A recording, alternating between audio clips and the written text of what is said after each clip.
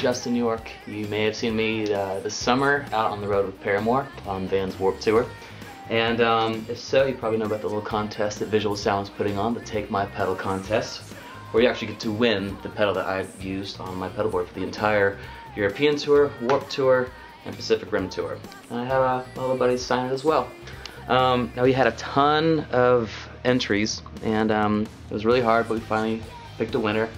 And uh, this bad boy is gonna go to Paxton Britt, who loves Captain Crunchberries, just like me.